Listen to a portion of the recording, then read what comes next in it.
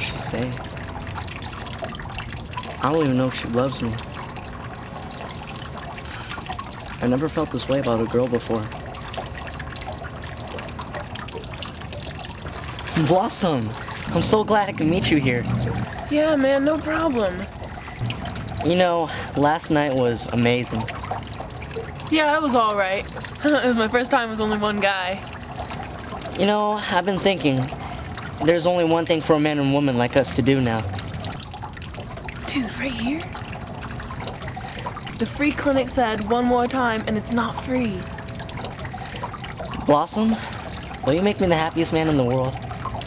I don't even have my stash with me, man. No, that's not what I meant. Blossom, will you marry me? Whoa.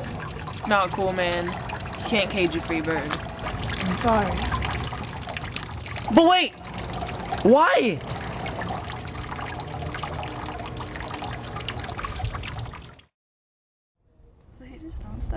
I used to be a total hippie. Hello, ladies. Is everything doing okay? Yeah. Yeah, thank you. Are you guys ready for your check yet? No. Not yet. okay. Just let me know. Okay. So, are you excited to see him? Yeah, we've been writing every day for the past three years. You know, I have a man who's a 'Nam too. His name's Dan. He's a lieutenant. Yeah. Well, I just really wanted to know that I love him and that I want to marry him. You're supposed to meet him at the fountain today, right? It's the last place I saw him before he left for Vietnam.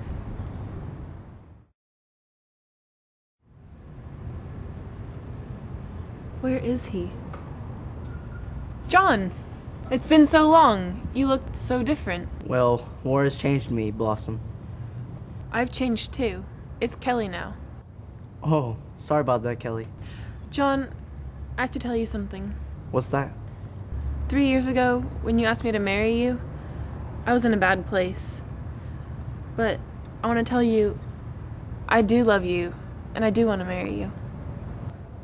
Um, about that, like I said, war has changed me a lot, Kelly. And I've met someone. What?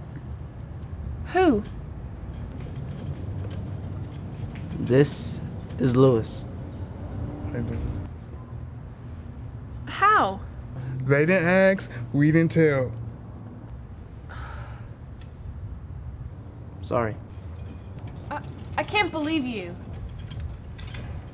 John! Don't roll away from me. John!